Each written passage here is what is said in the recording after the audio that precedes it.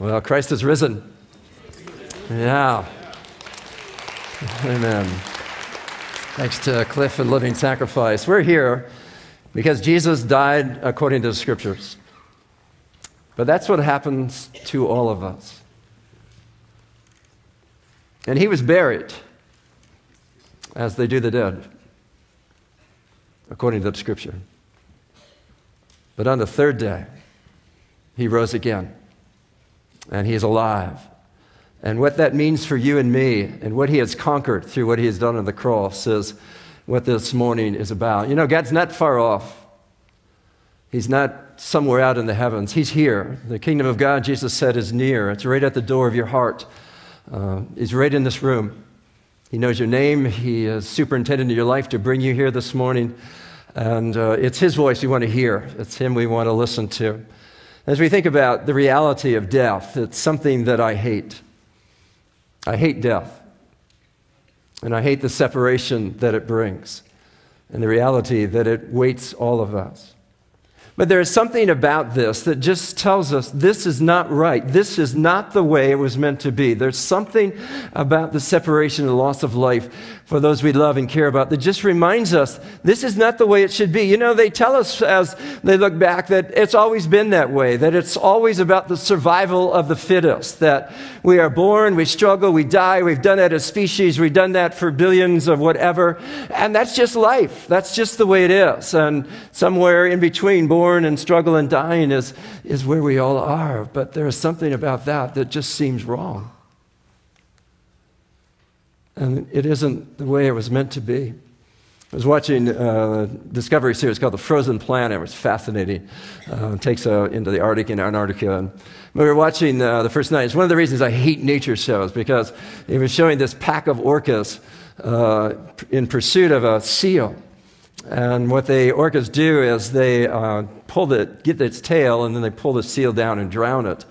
Uh, and then they have, have their feast. And this seal had fought this valiant battle and uh, continually defending its tail and, and biting and trying to keep it away. And it struggled from one ice floe to another. And, and it was in this long, valiant battle. And you just find yourself there rooting um, for the seal. Finally, it climbed up, exhausted, on one floe of ice, just enough to get on. But when the camera looked into its eyes, you saw that despair, that defeat.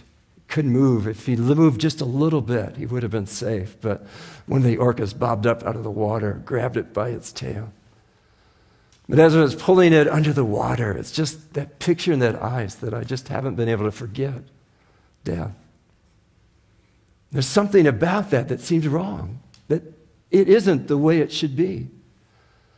As I remember when we were pastored in Colorado, two of our men had been uh, hunting on horses back in the front range um, of the Rocky Mountains. And I got a call early in the morning from one of them. And that night before, coming back late to camp uh, with dark almost there on their horses, one of the horses spooked and started to charge through the forest. And a branch of a tree went through Dave's eye socket uh, severed his brainstem, and he was instantly dead. And his friend had to be with him there all night and had gotten ridden down, gotten the help, and called me.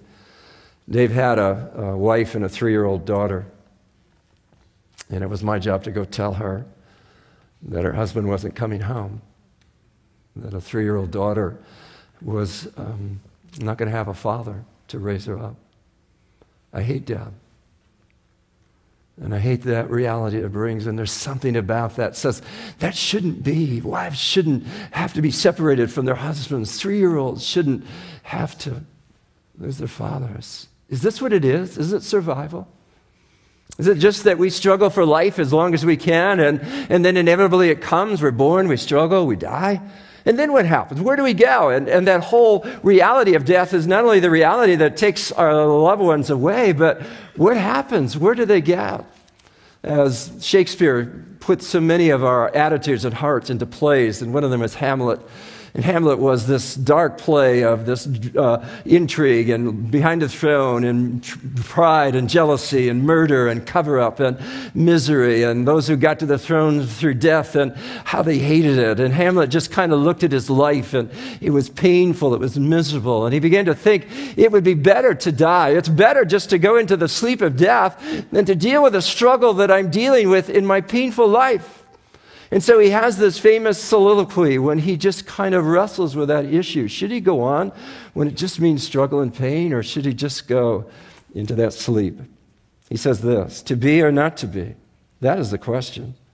Whether 'tis noble in the mind to suffer the slings and arrows of outrageous fortune, or to take arms against a sea of troubles and by opposing end them, to die, to sleep, no more, and by a sleep to say, We end the heartache and the thousand natural shocks the flesh is heir to. Tis a consummation devoutly to be wished, to die, to sleep, to sleep perchance to dream. Ah, there's the rub. For in the sleep of death, what dreams may come? So I thought better to sleep, better than to go on with a struggle. But then what will happen? And he says this But that dread of something after death, the undiscovered country from whose bourne no traveler returns puzzles the will. It makes us rather bear those ills we have than to fly to others we know not of. Thus, conscience does make cowards of us all and thus dealing with the uncertainty reality of, of death and what follows, he finds it better to go on with life no matter how painful and how struggle it is. And maybe you're experiencing that this morning as you come here into that reality. And we're going to come and speak that this reality of death and that there is this puzzle to life. It is that we put all the pieces together, and maybe you've tried to do that with your life. You put all the pieces together, and, and then it, it just doesn't seem to fit. It's like there's something missing. And that's what this day's about, about Jesus, that one who's missing, that makes the puzzle fit, that helps us see. I want to go to Hebrews chapter 2. There should be a Bible underneath an armrest near you if you look around you, and we're on page 1001 uh, in those Bibles. And we have nothing to say here but the Word of God and what uh, seek to understand what it says. And uh, we're over in Hebrews 2. We want to start over verse 5. But let me just kind of set it in context. The, the writer of Hebrews is writing to people that have come out of Judaism, they've come out of the old temple sacrifice, and they've come to Jesus, but now they're being tempted to go back and saying, you know, maybe we ought to go back to the old religious rites and practices and rituals. And, and so the writer of Hebrews is writing to say, don't you ever do that. And, and he is starting out with this triumphant truth that Jesus is superior to all else. And he's been talking about that Jesus uh, is the last word of God to us, that God has spoken in many times and ways in times past by the prophets in other ways, but these last days, he has one word to us, and that's Jesus. And he's talking about the angels, and he's talking about the reality that there was a day when, when angels sinned. About a third of them followed Satan in rebellion and tried to throw God off the throne and saying, We don't need God. We can be God on our own. The same lie he, he sold to Adam and to Eve. And there was this battle for the throne. And about a third of the angels joined Satan in his, his rebellion. Of course, he was defeated. You can't take God off the throne. But the reality is that Jesus is greater than the angels. But the writer of Hebrews is saying that God didn't do anything for the angels that sinned. They are forever sealed. Hell was created for them. Some of them are there that refuse to live under the lordship of God over his creation.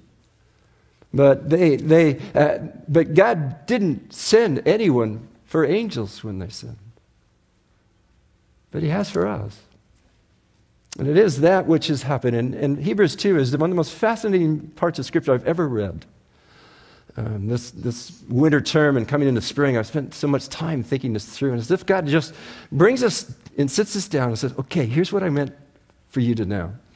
It's an amazing story. Hebrews 2, verse 5. This is the Word of God. So let's stand up one more time and then you can sit and I'll keep standing. We were in the Masters Golf Tournament. We've been standing all day, so that's, that's okay. So, Hebrews 2, verse 5. Now, it was not to angels that God subjected the world to come, of which we are speaking. It has been testified somewhere What is man that you are mindful of him, or the Son of Man that you care for him? You made him for a little while lower than the angels. You've crowned him with glory and honor, putting everything in subjection under his feet. Now, in putting everything in subjection to him, he left nothing outside his control. At present, we do not yet see everything in subjection to him. But we see him who for a little while was made lower than the angels, namely Jesus, crowned with glory and honor because of the suffering of death, so that by the grace of God he might taste death for everyone. For it was fitting that he, for whom and by whom all things exist, and bringing many sons to glory, should make the founder of their salvation perfect through suffering. For he who sanctifies and those who are sanctified all have one source. That is why he's not ashamed to call them brothers, saying, I will tell of your name to my brothers. In the midst of the congregation, I will sing your praise. And again, I will put my trust in him. And again, behold, I and the children of God has given me. Since therefore the children share in flesh and blood, he himself likewise partook of the same things, that through death he might destroy the one who has the power of death, that is, the devil, and deliver all those who through fear of death were subject to lifelong slavery. For surely it is not angels that he helps, but he helps the offspring of Abraham.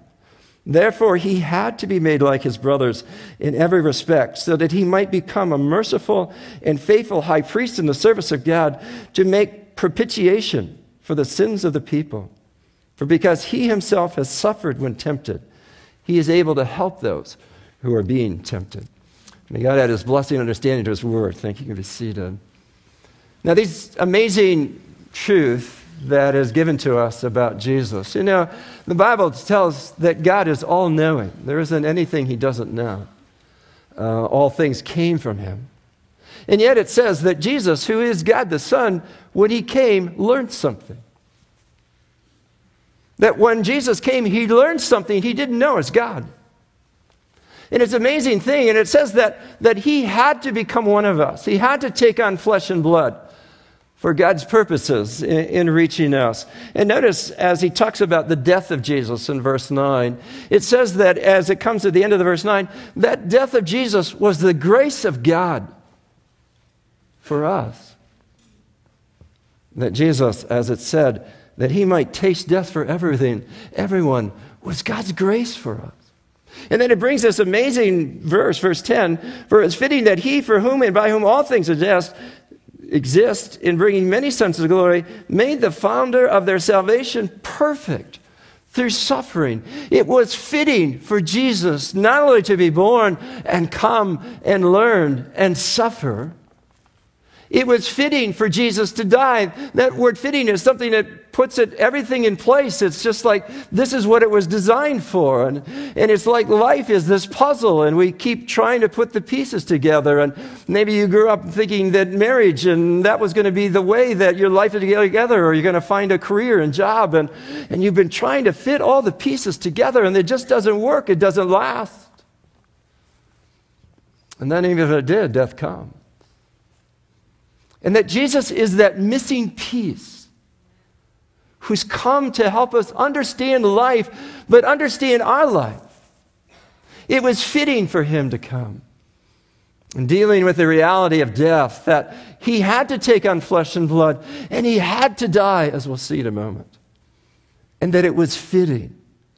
It was the missing piece. It is what restored and brought back life in what it is and, and for eternity. You know, we're all going to die, apart from Jesus' return, which I think might be very soon. But it's the last thing they're going to say about you. And he died. And she died. And that issue of life is how do I find meaning and significance? And Leo Tolstoy, an intellectual and, and a brilliant man, a novelist from Russia in the 19th century, became obsessed with death and, he, and its reality. And he began this long search. What is there in life that death does not destroy? And that reality. And, and he struggled and he tried to find Jesus and, and in that reality because what is it if it all ends with death? What is it that death does not destroy? What is it life should be about? I remember reading of a, a young girl, her mother was um, ill and was going to die. She was in hospice care. The doctor had come to their home, and it was fall in a part of the country where the leaves actually fall in the fall. And uh, as she was there, the doctor was there, and they didn't know the little girl was hearing what they in the other room. And she asked the doctor, How long do I have? And the doctor says, Well, you're not going to last till all the leaves fall. And that next day, the mother was looking out in her yard and looking at her little daughter, and she was running around collecting the leaves and trying to put them back on the tree. It's that reality that comes that we want to stop and know that this isn't what should be. But yet it says that Jesus went through death for us that he might destroy it, its power. Now, what is it that it's talking about, verse 10, that Jesus came that he would learn? It says he learned obedience through suffering. It says at the end of verse 10 that in bringing many sons to glory, should make the founder of their salvation perfect through suffering. What is it that Jesus learned that he didn't know as God? Through suffering. What he learned is what it's like to live in this world with the limits of what we have to battle sin, to battle temptation, to deal with sickness and disease and death and loss. He walked through it all, and it gripped his heart. You see, there's some things you can only learn by experience. Only by experience. I, I, I marvel at the mystery of life and a woman bearing a child and, and a whole person growing inside them and, and becoming this person and what's that like and, and, and, and what it must be like to deliver and bring life and through the pain, see the triumph, of the new life. But I'll never know that because I can't experience it. And there's something that Jesus learned that he only learned because he became one of us. And you know, as Jesus learned that, you know what he learned?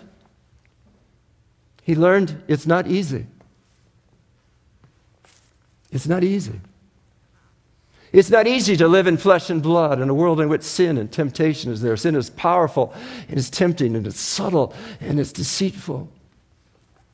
And before you know it, he's in it. Jesus saw it to the ultimate because he never gave in to sin. But he realized this is not easy as, as he dealt with what death was bringing, when a widow was bringing her only son out for burial from a village, as Jesus saw that and saw what death is like and what a mother experienced, and he raised that child back to life. But he learned this is not easy. And he learned it in, in, ways through suffering that he couldn't have learned from heaven. He couldn't learn by knowing our thoughts. He, he could only learn by being part of us. And, and that reality of what he's experienced has enabled him to help us in this battle with sin and death and reality of life. It's, it's changed him. You know, when you think of someone who is God and his very nature of God who became man and, and dealing with that, and, and of course he triumphed, you know, there, you would think, well, oh, you know, I did it. I did it. You know, one of, one of the realities of in the athletic world we find is that gifted athletes are very poor coaches.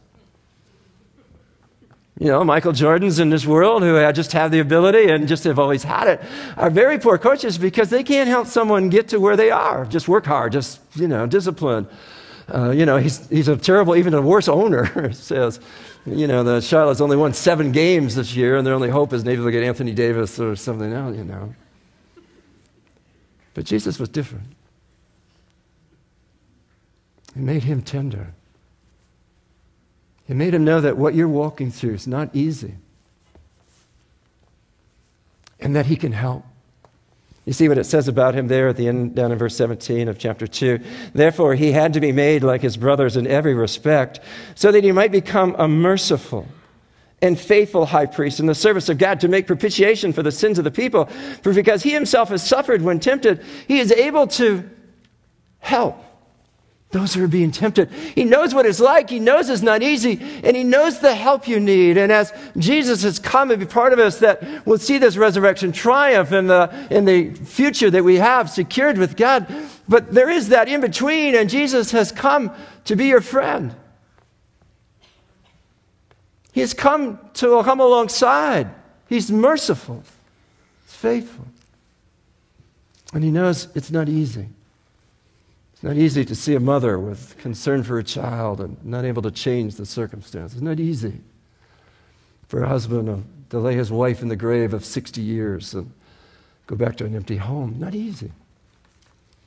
And that Jesus knows how to help one of the um, trips that I was on, and we were on several years ago to the Congo, which we've had a connection with in this church going back to uh, our founding days. And we, when the Congo is, is, arguably the most dysfunctional nation in the world, and it's been through civil wars and still continues on, and the part we are where we've had a connection with the covenant, and God's just alive and doing amazing things um, in the Ubangi part of, of Congo. And we went to people who had nothing. They, they, they just barely had what they had for the day and the clothes on their back. And everywhere we went, they sang with such joy and passion in Lingala. What a friend we have in Jesus. And she looked at those people and realized the tough life they were facing, and many had, were widows there who had lost their husbands young, and, and yet they had a, a peace in life. They had a, a joy in life because they had a friend who, yes, he's God, and yes, he's Lord, but he knows. You know, the spiritual says, nobody knows the trouble I've seen. Nobody knows but Jesus. See what it says of him there in, in verse 17 as he has come to bring us into his salvation. He is pleased to call us brothers. That is why he's not ashamed to call them brothers, saying, I will make of your name to my brothers. In the name of the congregation, I will sing your praise. And so that I have at the right hand of God, who has all authority, a friend who understands and has the help that I need, not just to make it, but to triumph. And to know as the trials of life come that I have someone with me, and He's enough, and His help is real and there. What a friend we have in Jesus. But it was necessary for Jesus to come and be part of us, not only to learn what we're dealing with and how He could help us, but to take away what it is that we are living in fear of, and that's death. And, and that Jesus came and took on flesh and blood that he might go through the cross, that he might, by the grace of God, it says in verse 9, taste death for everyone. It says there, as we go down to verse 14, this, this reality that the devil has the power of death. Now, how does anyone have power over against God?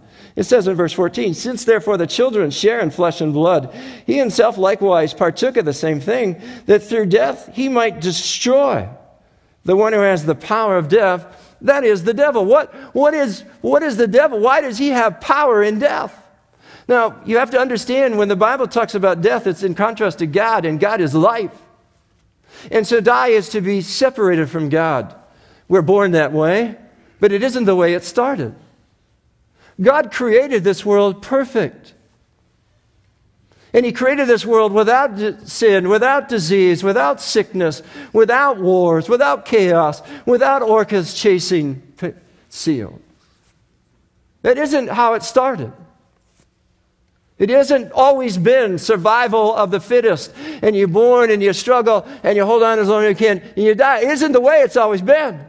God created it in harmony. He created it in peace. He created it in, in the land to provide all the food or the sea that anyone need without death becoming part of this. And he put man in the center of the garden and he created us for this perfect world. This world is not how God created it. But God created us to know him and to love him and to be in a relationship with him. And for love to be real, there must be a choice not to love. So God put him in a perfect garden, prepared the garden for him. He didn't have to plant it just to take the fruit that God had already prepared. And God says, There's one thing I, I don't want you to do because love needs this test to establish its evidence. There's a tree of the knowledge of good and evil. I don't want you to eat of that. Because the day you eat it, you're going to bring death. And you're going to bring its curse to all of creation. And of course, we know the story, but yet we can't be Adam and Eve's critics because we know in the choices we've made, we would have done the same. We would have done the same. And they ate of the tree of the knowledge of good and evil, and death came. It separated them from God, but it brought what this creation is knowing, what Romans 8 says, it's subjection to this futility because of the choices we made. And God is holy and righteous, and, and He made us to love Him, and love to be real, it must be choice. And so God didn't create us to be automated beings that just are programmed to love, or else there's no meaning to it. There's no meaning to your love unless it is from your heart. And we rejected, and that brought the judgment of God. And the devil gained power because now we were separated from God. And death, if we were to die separated from God, brings us into everlasting judgment. It brings us into hell, separation from God forever, which the devil wants for you. He hates you. He doesn't want any loyal devotion. He doesn't want worship. He mocks those who worship him because we bear the image of God. We, we are made for the glory and in the image of God. And because of that, He hates us. And He lies and deceives and, and, and tricks us. He, he's in Tulsa, Oklahoma with this unbelievable, just randomly going down the, the, the, the streets and shooting people, three dead, two wounded, just because he didn't like their color. If you want to know what the devil's like, look in Tulsa. Look in Northern uh, California at the Oikos Nursing College with, with a man that didn't make the grade and was thrown out and wanted his money back and wasn't able to get his money back. He went back with this 45 that he bought several weeks before with three clips to go back. You want to know where the devil is? He's there. And if you really want to know he is, you look in your heart. His power needs to be broken. And death was his ultimate tool. Because once we died, then we're separated forever. That's why so many of you have thought at times of suicide. One of the things we're learning about youth today is that many have thought life would be better without them. That's his life. He wants your soul not for himself, but to destroy it.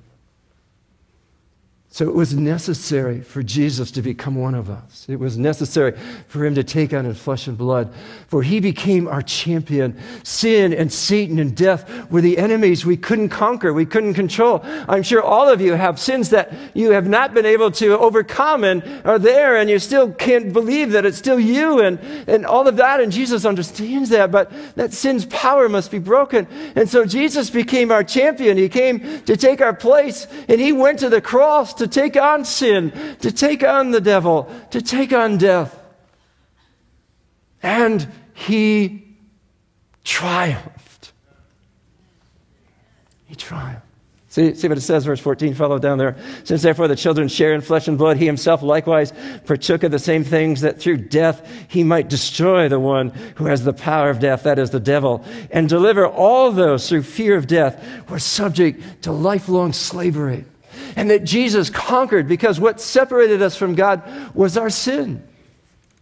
And religion couldn't solve that. You're being baptized or crawling up steps in, in penance or saying so many prayers or so many hails this or that or, or your desire to, to make your life good from what has been bad. Nothing can take away our sin. And so it says there in verse 17 that Jesus came. Therefore, he had to be made like his brothers in every respect, so that he might become a merciful and faithful high priest in the service of God to make a propitiation for the sins of the people. Propitiation is, is a judicial term. Propitiation talks about that when sin is done, justice, righteousness is, is offended and roused up to say, that must be judged. The, the judge with, with propitiation is not dispassionate. He, he sees what we've done and how we've hurt and ruined and what he has made and destroyed the planet that he has given us. And, and it rouses in him not only an offense to his holiness, but this righteous wrath that sin must be judged. But what God has done is put all of that wrath on Jesus.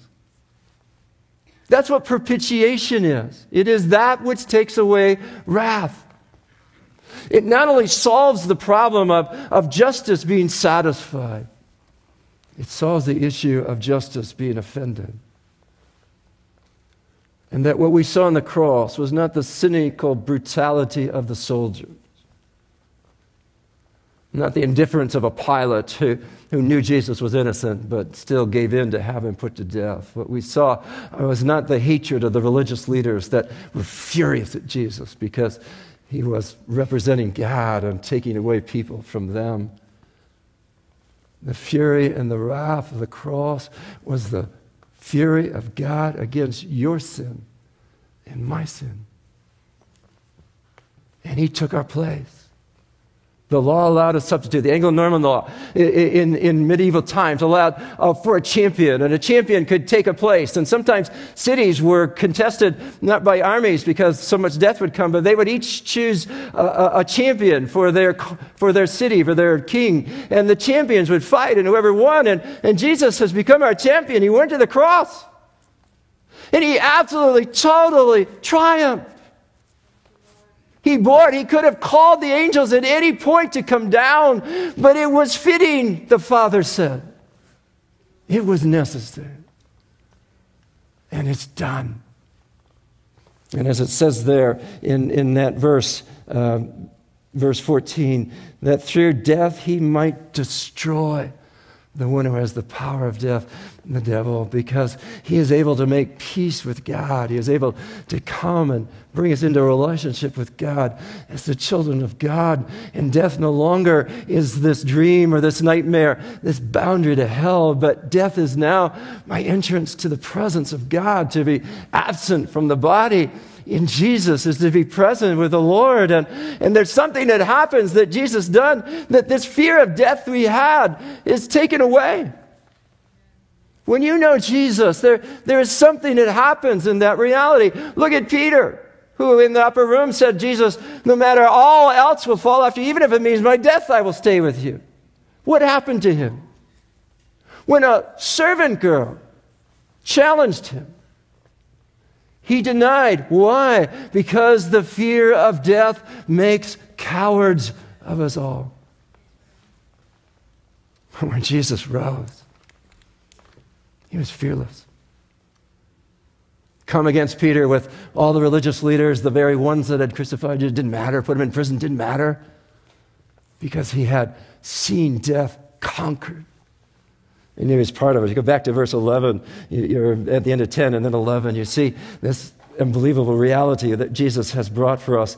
Let me read 10 again. For it was fitting, it was the missing piece, that he, for whom, by whom all things exist, in bringing many sons to glory, should make the founder of their salvation perfect through suffering. For he who sanctifies and those who are sanctified all have one source. And that is why he is not called ashamed to call them brothers. Sanctified is another theological term, but it just means to be declared before God holy. And that God sent Jesus so that he might declare before him you as holy. And that those who are met holy God who is receiving us, and those who are sanctified, as it says there, verse 11, all have one source. It's Jesus. And that's what today's about. For he has still given that choice to you. And what you're going to do with your heart and your life. There's still the lies of Satan, there's still the deceit. There's still that missing piece. And, and, and you're going to find, if you've not already, that no one else is going to fit and put it together. But Jesus. But notice down in verse 16 who this is for.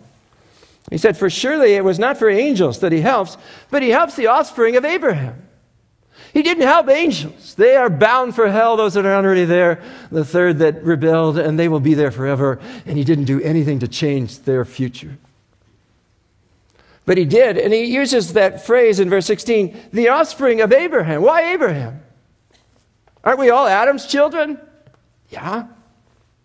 Well, why then is it this promise for the offspring of Abraham? You see, the Bible, we're going to be looking into this uh, next week and in the weeks following as we deal with a living sacrifice. We're going to be looking into the patriarchs and Abraham and Isaac and Jacob and just kind of see how this works out in daily life. And, you know, someone says, I, like, I love to study of the patriarchs. And they say, why? He says, because they make worse decisions than I do. And,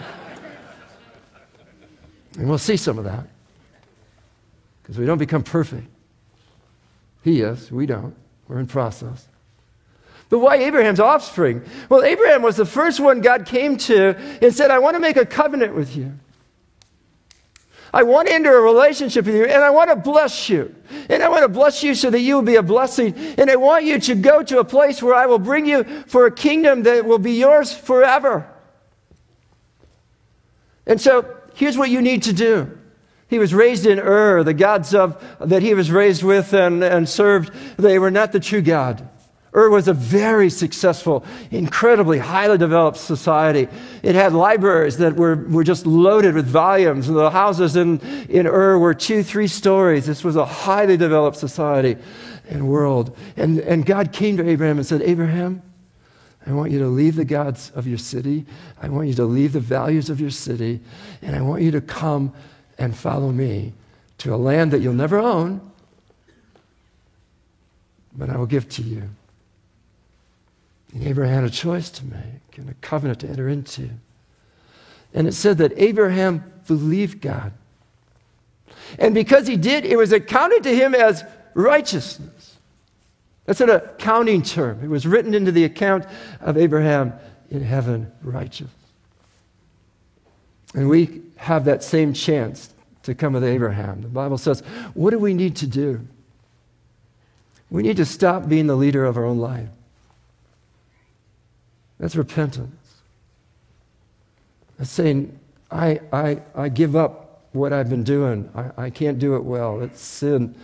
I give up the leadership of my life. You lead it. And then I'll trust you. I'll follow you. Help, help me know what that is. That's faith. That's how you become Abraham's child, his offspring.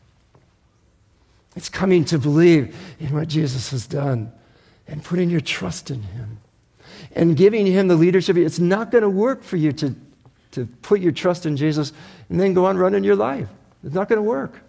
He won't go with it. He only takes one position, leadership. But he's good. He's so good. He is so good. And those who have put their trust to follow him, it all starts somewhere. For me, it was a nine year old at a Billy Graham crusade. It all starts somewhere. You know, we were having the Titanic come out again as if we need that movie back.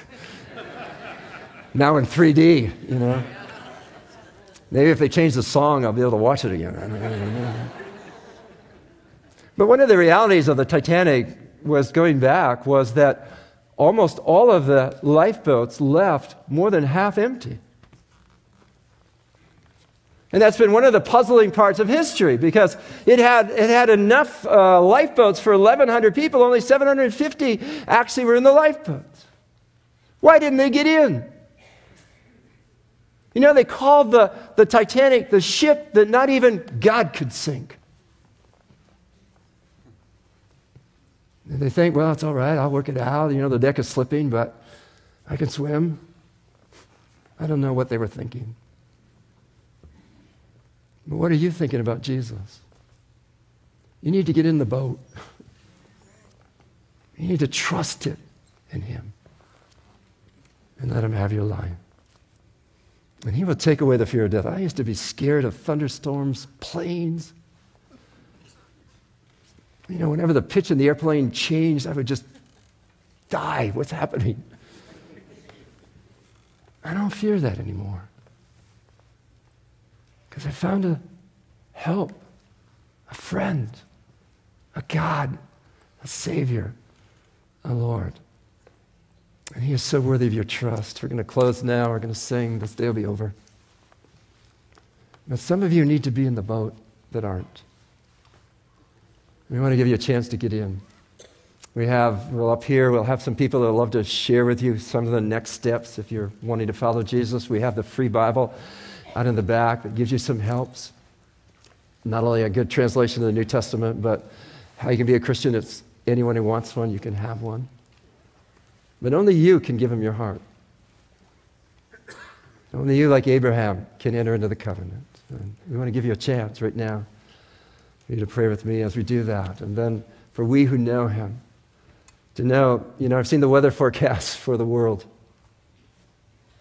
Frequent and intensifying storms. They now discover the radiation from the plant in Fukushima is now in the kelp off Orange County and into our food chain. You need someone to help. and Jesus, He's the only one. He's the only one. Let's pray to Him. Father, I, I see faces, some I know, some I don't. But you see all of us. You know all about us, and you want us. And it was you who sent Jesus, and it was right for him to take on flesh and blood so that he could learn how to help us and that he could save us. Father, thank you that you've made this like a child that a nine year old, five year old can make the choice that we have to. And I pray for each one here that they may be sure they're in the boat with Jesus and trusting him. Lord, lead as we pray in our own hearts what would just bring this to words, just to say to you, Dear God, I know I'm a sinner, and I'm sorry for my sins. But I believe Jesus came to the cross for my sin. He was my champion, and He paid in full, and He conquered. Lord Jesus, come into my heart, forgive my sin. I will follow you. Help me do it. And thank you, Lord, that you have come to take away all our fear. Because now what I see is Jesus.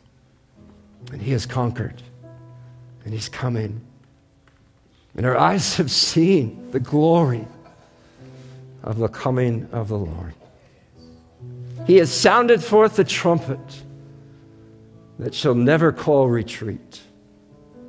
He is sifting the hearts of man before his judgment seat. Oh, be swift, my soul, to answer him. Be jubilant, my feet. Our God is marching on. Glory, glory. Hallelujah. Glory, glory. Hallelujah. Glory, glory. Hallelujah. Amen. Happy Easter. God bless you. Let's stand and sing. We'll go.